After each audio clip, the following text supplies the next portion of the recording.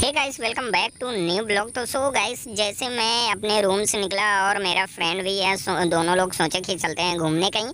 तो जैसे निकला तो ऐसे बारिश होने लगा तो कुछ आगे जाते हैं और टपरी पड़ी। तो उसी टपरी में मैं सोचा कि हम लोग चाय पीते हैं। बारिश का मौसम है, काफ़ी मज़ा आएगा। तो फिर हम लोग, दोनों लोग चाय पीने हम दोनों लोग बीच सिटी में फंसे हुए थे। यहाँ पर जो व्यू है ना, काफ़ी अच्छा व्यू हो जाता है क्योंकि यहाँ पर ब्रिज वगैरह हैं।